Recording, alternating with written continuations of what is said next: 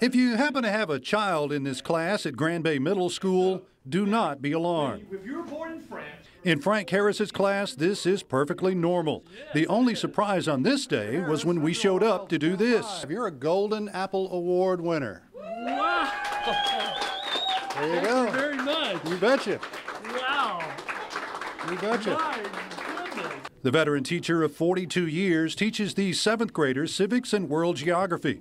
He's described as the living embodiment of school spirit. Maybe that mean that I'm the most hyperactive teacher here. Assistant Principal Joseph Peterson nominated him.